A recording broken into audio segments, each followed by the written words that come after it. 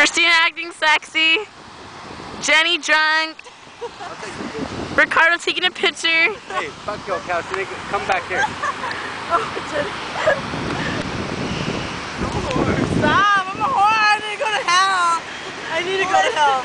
Let's go to the water. You need the water. You need to read something.